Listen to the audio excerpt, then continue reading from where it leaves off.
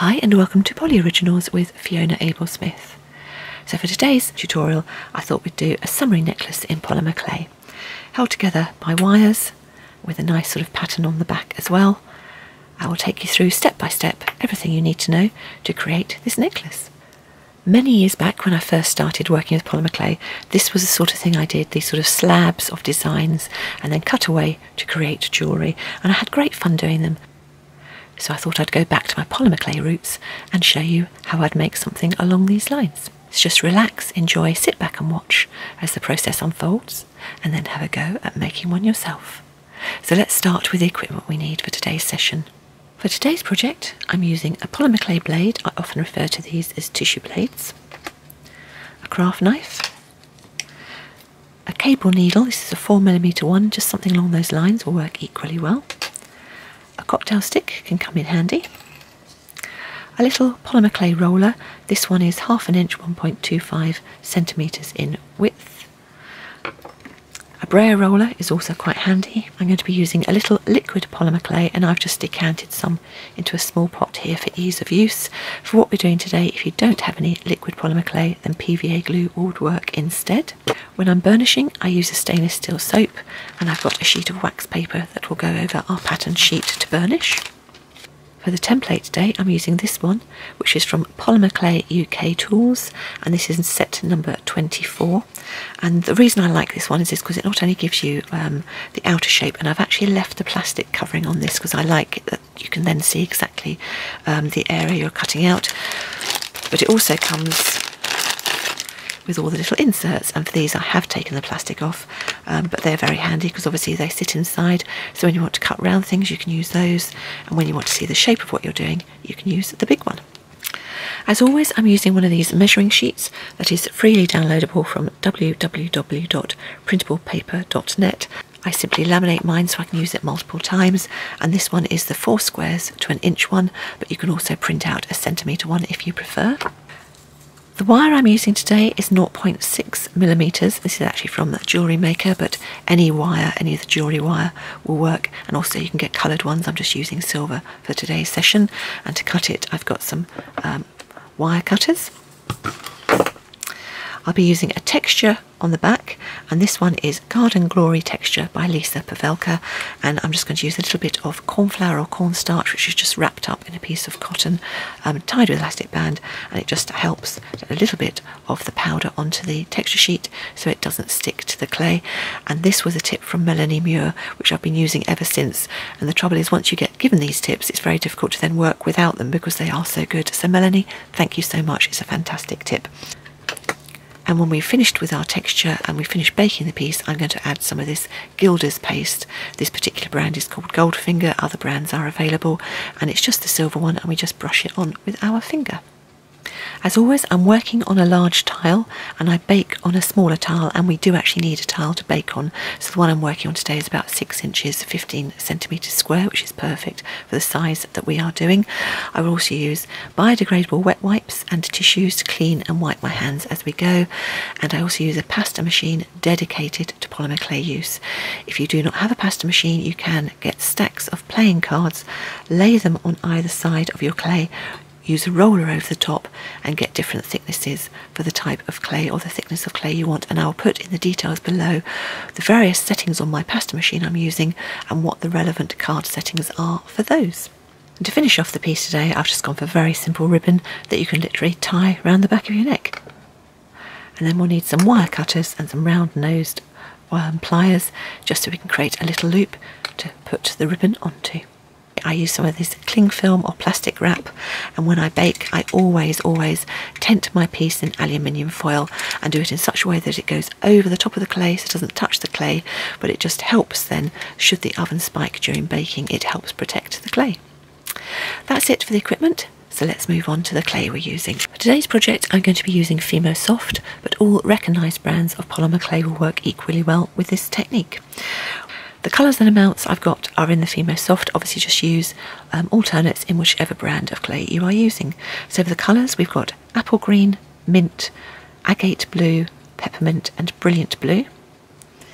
And for those, we've got seven grams or a quarter an ounce of the green and the blue, and then 14 grams or half an ounce of the mint, the agate, and the peppermint.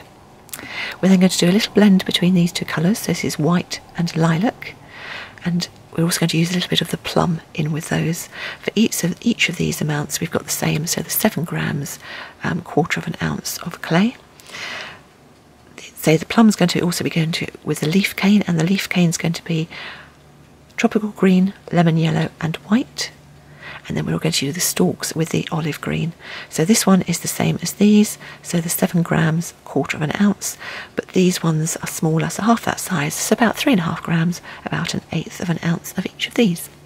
So I'll get all of the clay conditioned in their separate colours first, and if you're unsure about conditioning polymer clay, then I do have a tutorial with a few hints, tips and techniques on that, and I'll put a link to that in the description below this one.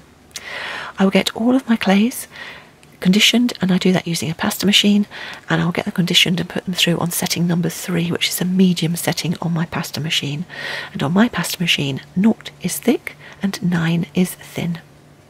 So I'll get all those colours conditioned and we'll start by doing the petal cane.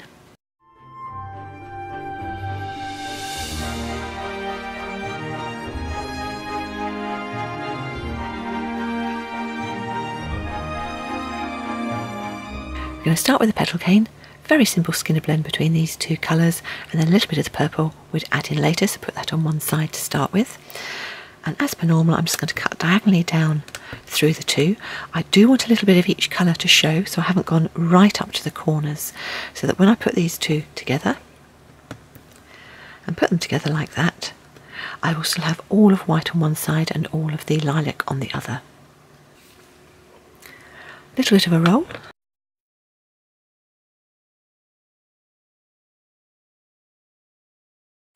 and then I was going to pick them up, put them together, pinch at the, at the end, and because I've got four layers now, I'm going to put them through at one setting thicker, so setting number two of my pasta machine, that way through, and simply fold bottom to top each time till we end up with a nice blend from one end through to the other. For anyone who's new to Skinner blends, I do have a tutorial with a few hints, tips and techniques on how to get a good Skinner blend and I'll put a link to that in the video description below. So I'll get that done and bring you back when we have the nice blend.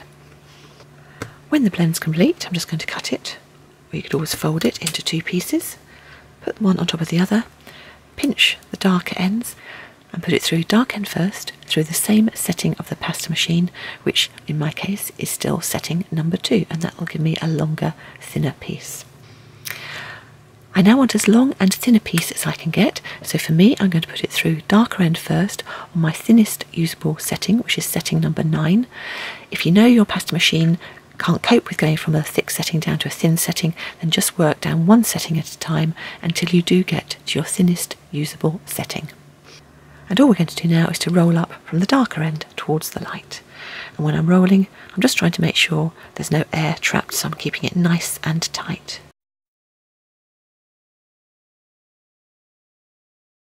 Having got our plug of clay, we're just going to cut it down into quarters. Don't worry if they're not overly neat. This is a petal cane we are making, so it doesn't matter if one slice is different to the next. Having got that, we're simply going to take one side and fold up. Do the same around the other side, either up in the air or down on the tile, whichever you find easiest, and then press in across the bottom so you get a thinner piece.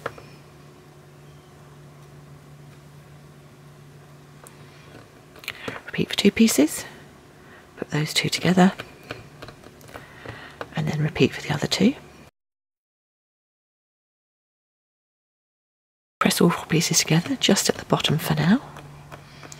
And I'm going to turn it on its side and press along the side just to make it taller. And then when we've done that, now I'm going to just press across the middle just to create more of a triangular shape. And then I'm going to chop in half Put those two pieces together and we see the pattern start to emerge. And then I'm going to take a very thin slice. This is still on setting number three. So I'm going to take a piece that's the same width as my piece there, but put it down onto my thinnest setting. So for me, setting number nine. And then I'm just going to take a tiny little piece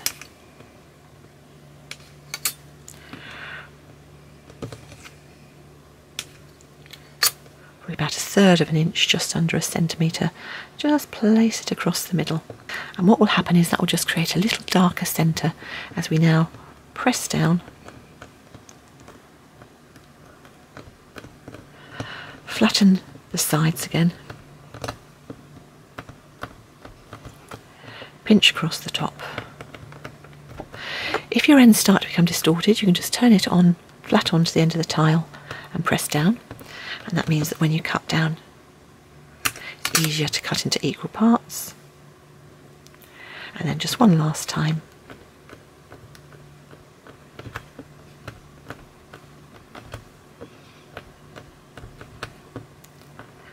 Same again. Pull it straight. Cut in half. And put the two pieces together. So we've just got the very smallest amount of purple showing, but it will show up when we have our finished petal. You could of course have stopped that at one of the earlier stages if you prefer and have more of it showing, but I quite like it when you've got all those stripes going. So all I'm going to do now is we need to reduce this down to it's really quite small, and the easiest ways to reduce canes are either in rounds, squares, or in triangles. Um, I'm going to reduce this one down in a square because it's going to be easier for the end shape of the petal we're going to go for. So all I'm doing is pushing my fingers together like that to creating more of a square shape. And once you've got it starting to go square, you can turn it on its side and then just by pressing in, it will automatically start to go longer.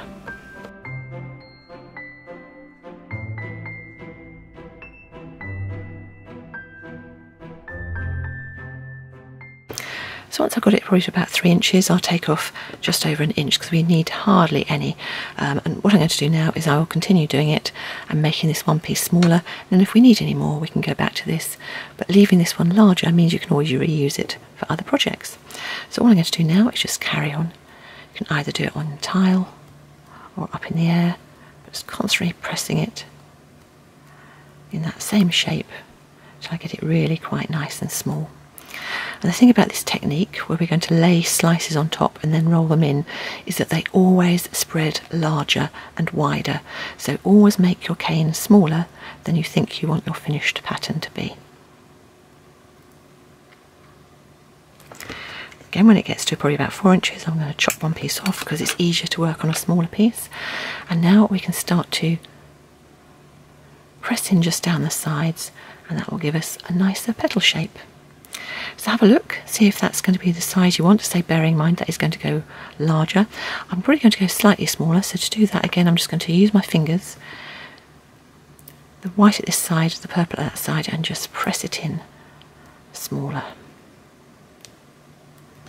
Turn over, do the same from the other end because it's easier to work from the top down. And then again, we'll just spread or push in along the sides to give us more of a petal shape. You can always, if you want to, just roll it gently on the tile as well, just to round off that shape, and then take a little slice off. See what you've got, and whether you're happy with what you're going to have with the pattern that you've got. And now we're going to do exactly the same with the leaf cane. So we're going to have the green into the yellow into the white. So this time it's a three-way skinner blend. So for that I'll cut across the ends diagonally but in the middle straight. Put them together like that.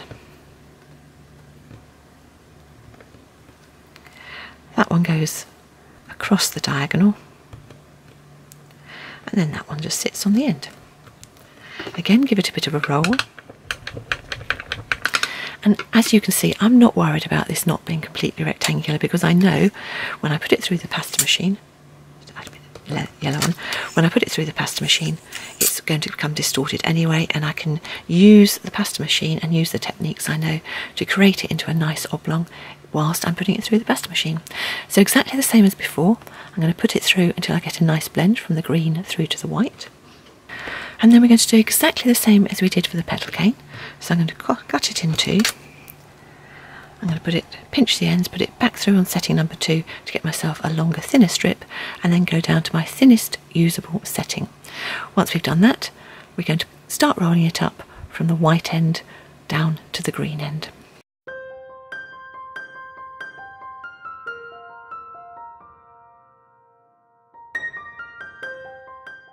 And then again, exactly the same before, cut into quarters, pinch them and put them together so that all four pieces are there and then press them flat on the sides.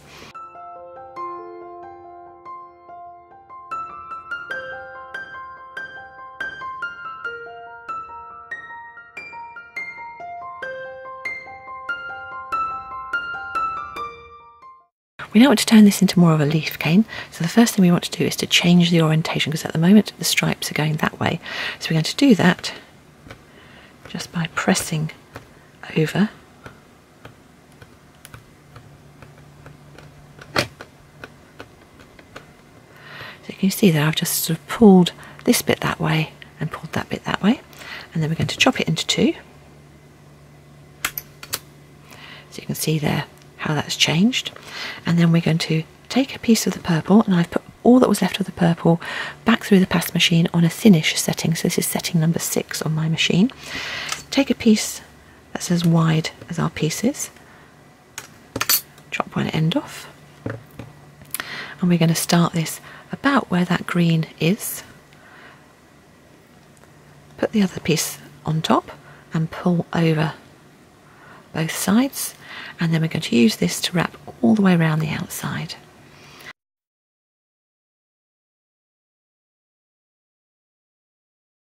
So exactly the same as before, we're going to reduce this in a square format and by keeping that bit horizontal, so when you press down between your fingers, that's going to be going that way. We will reduce this down in a square format in exactly the same way and get pretty much the same size as we did with our petal cane.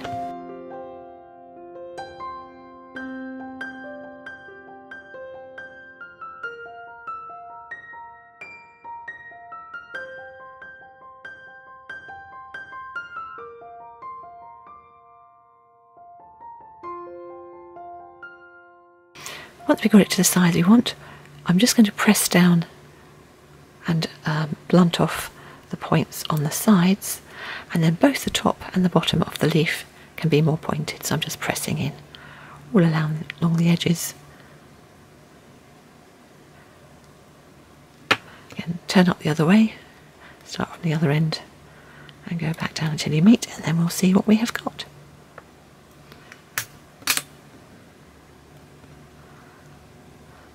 And so there you have some little leaves so those are our two elements all ready to go. So again, we'll put that on one side and rest it. And now we'll start making the background. So there's all the colours for our Skinner blend and we're going to blend all the way through to those colours. So it gives a rough sort of representation, almost like um, of ground going into sky in our finished piece. So as per normal, I'm just going to do a little diagonal line through the end pieces, straight down the middle, and then we'll fit them all together.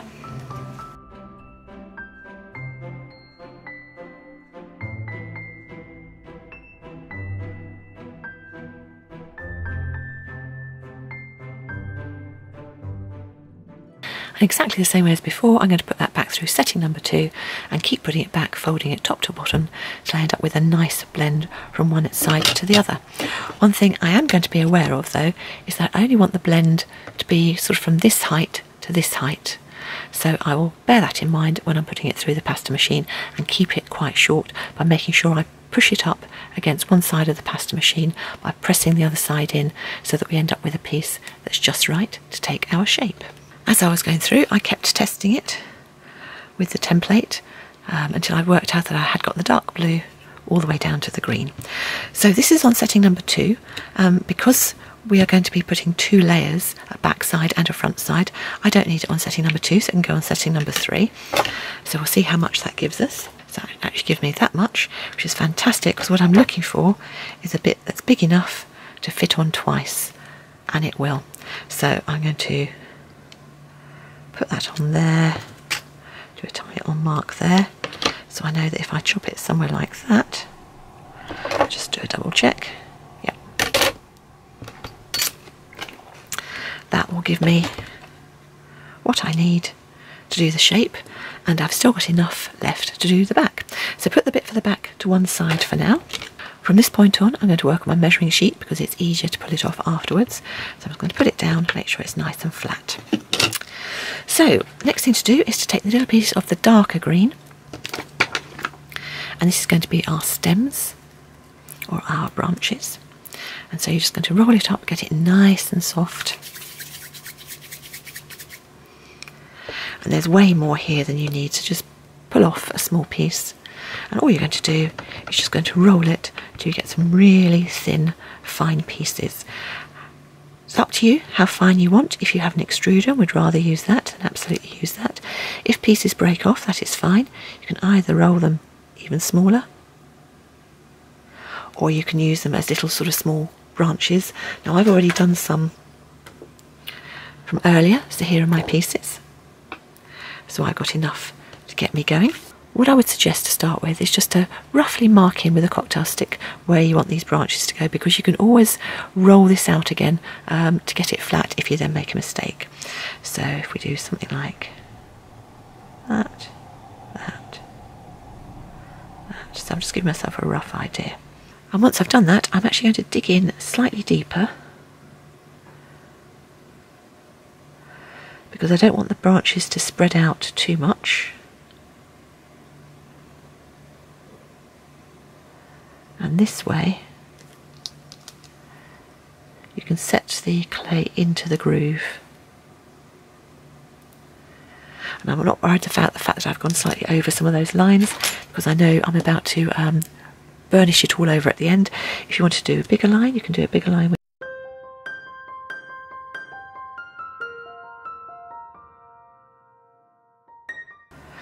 So I'll put the main ones in and then I'll add some around the outside too.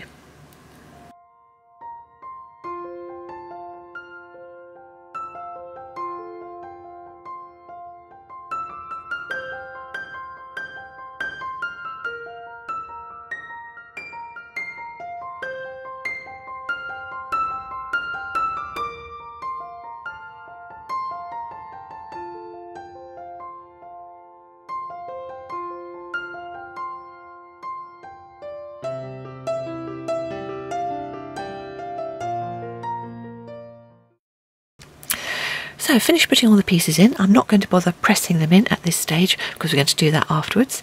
But that's as many as I want. So now we can go back to our little leaf cane. So the first thing I'm going to do is add on little leaves. So on my working sheet, I'm just going to take as thin a slices as I can. So I'm just going to turn it this way up, just purely for me, so I can actually see what I'm doing, but obviously take them however you want to do. Now this is a really good project to practice taking your slices as thin as you want. And if you cut little half slices, you can always put them on and then overlap other ones on top of them so it looks like the leaves are on top of each other. And I would suggest you do that to a certain extent anyway, because if you just have them all sitting off by themselves, it's not going to look very natural, and the leaves would overlap each other. I will normally start from the top of a point and then work my way down, um, and then I might even add a few more branches as I get down here, depending on where the leaves are and how many I think I need to do. So I will probably take certainly about 40 or 50 slices to start with, um, and then start adding them on wherever I think they need to go.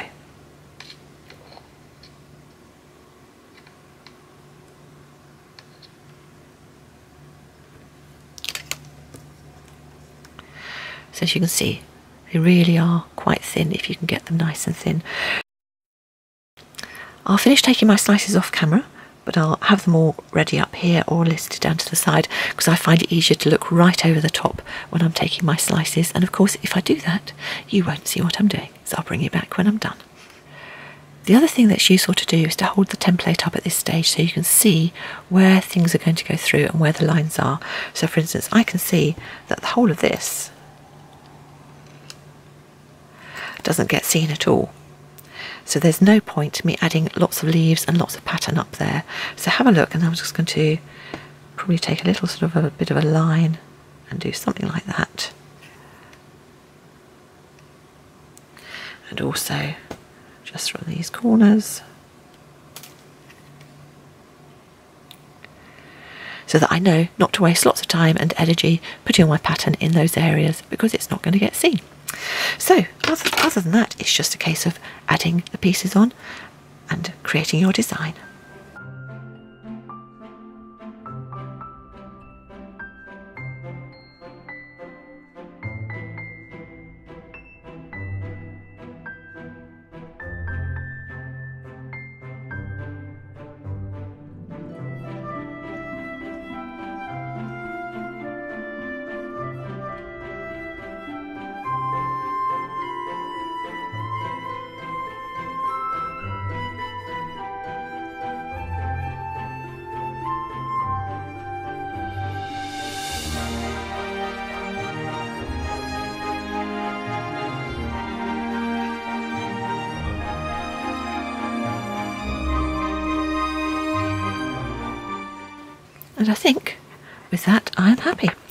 Going to think about now is the same thing about the placement, is think about where I want the flowers to go.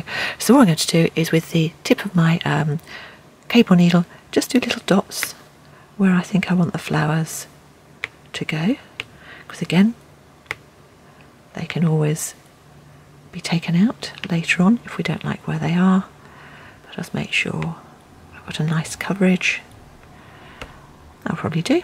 So I haven't made it even, I've just gone for where the gaps are in between my branches. And then I'm going to cut five petals for each flower. Now these are going to be quite what big compared to the leaves. Um, so again, have a look at the size you want and if you'd rather make them smaller, you can do. So I'll cut five off and then put them on and see if I like the look of them, but I might end up making them smaller. So let's start with one in the middle. So I'm going to put them just off to one side of where that dot is.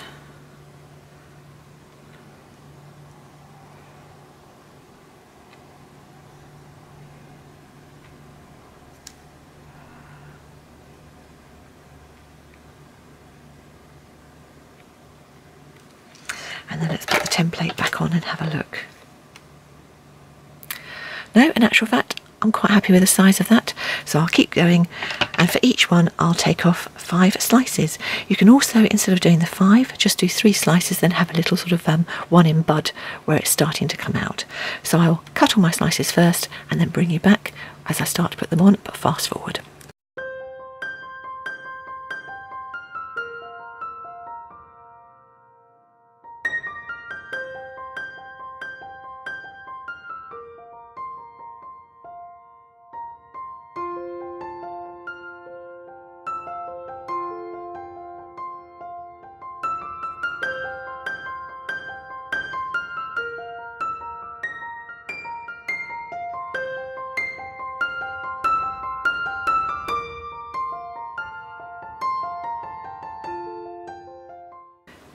The open flowers and there's just a little bud if you want to do that. So I'm just going to put that back on, have a look, see if I'm happy with the way that looks. And yep, I'm thinking that looks quite nice and summery and breezy. So I'm going to put a little centre to the flowers and I'm going to do that by taking off a little bit of this very light green. Roll it into a long thin strip. And then we're just going to add additional little dots in the middle of all the flowers Take a small little round of the green and drop that in. And again, I'll do that to all of them. With all the piece finished and the ins and the middles of the flowers put in, I'm just going to get a little piece of wax paper, the tracing paper, baking paper, anything like that would do. And then I'm just going to, with my stainless steel soap, in very small round circles, just go over the whole thing, pressing it flat.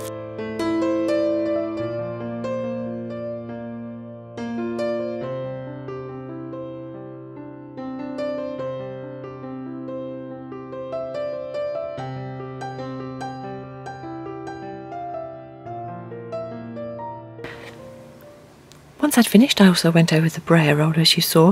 If, like mine, your paper sort of creases and you get a crease line, then just find a flat piece, put it back over the top, and either with your finger or with the stainless steel soap, just go back over and get rid of any crease lines. I've now got a piece of cling film or plastic wrap, whatever you call it, and I'm just going to put that right over the top.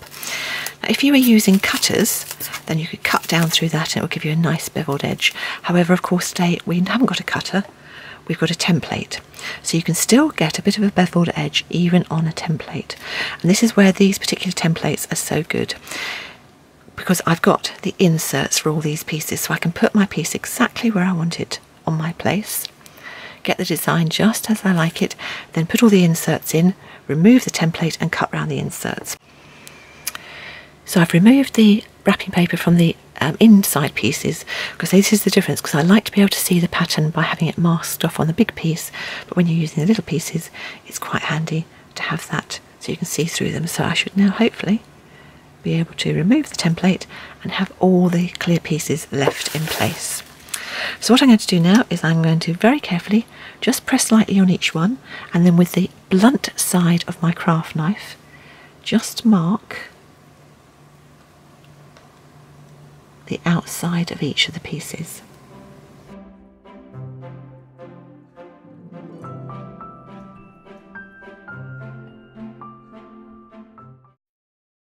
So I can now remove my pieces and see where all the lines are.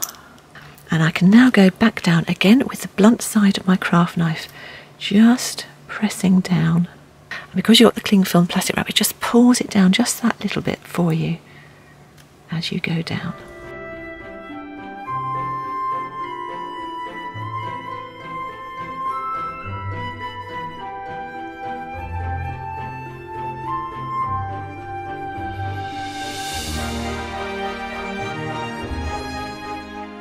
And now you've got it done as much as you can with that beveled edge with the actual point of the craft knife you can go back down through and cut all the way down.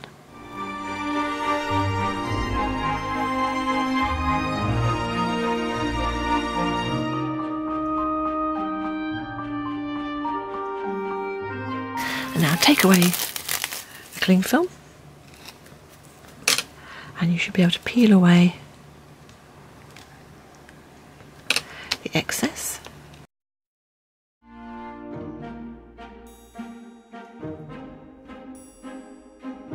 when you look, you should see that it has just pulled that pattern down around the edge for you. You may need to go back in with your craft knife and just neaten off a few bits and pieces, but as you pull them up, you can have a look. So we've got the rest of the blend we did, and we know it's the right size to fit on. So I'm going to use this texture sheet and just dab that onto the texture sheet and that should stop the texture sheet sticking to your polymer clay. It just gives a light, nice light dusting of corn flour or cornstarch. So I'm going to press that over, turn it round, and then just with my hands, just press down to get the nice texture onto the polymer clay.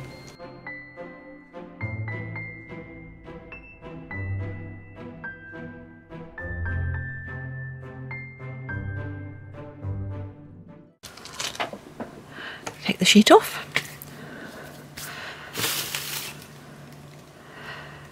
Check that we've got enough that's going to cover over the whole piece. And then because I want this to stick to the bottom of the um, tile and because we've now got a little bit of powder on it, I'm just going to, with a wet wipe, just wipe over the surface and then remove this from the measuring sheet. I'm just going to roll it over to make sure there's no trapped air. It'll also show me any other little cracks, so I can just roll those over. And then we can take our template, as before,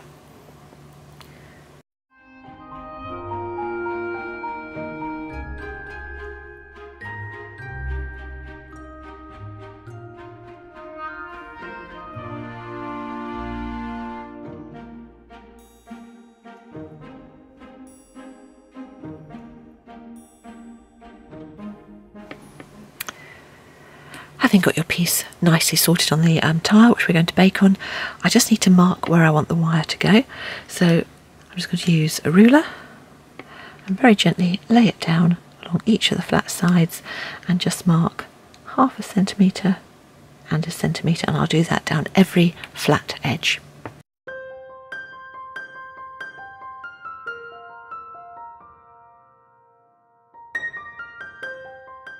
Going to take a little bit of liquid polymer clay. You could use PVA glue instead if you don't have any of that. And just along these lines where the wire is going to go, I'm just going to put some little bit of liquid clay just to help it adhere.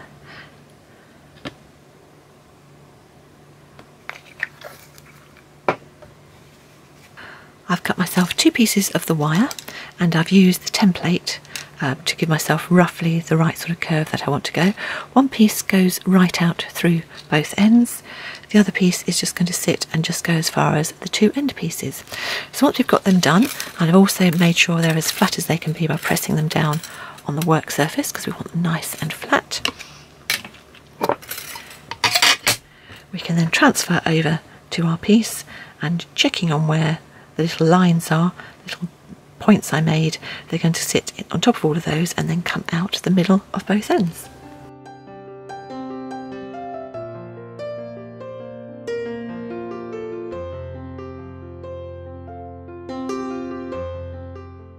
Once you've got the first one roughly in place, you can just press down so it actually digs down into that bottom layer.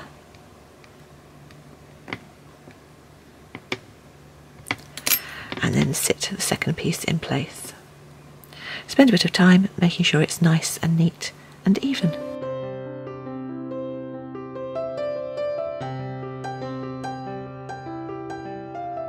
Chop off any excess and then once it's in place again press that down. Now we need to transfer our pieces from here onto here.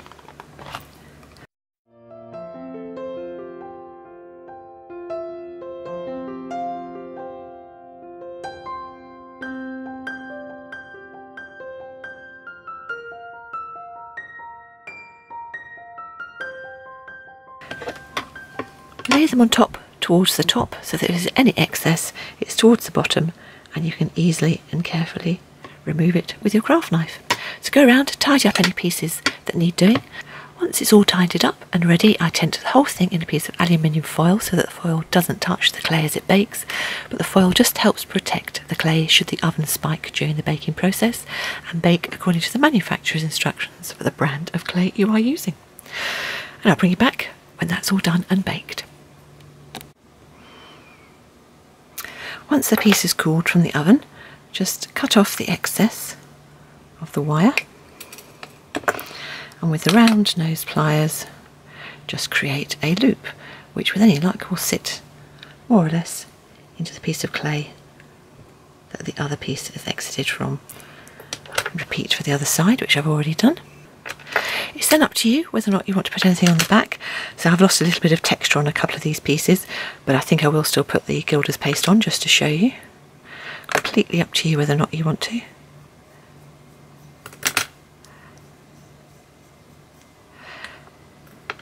The other reason I'm putting it on is because I am going to varnish this piece once the gilder's paste has gone off. And by that I just mean it's dried and you can sort of buff it um, with a polishing cloth.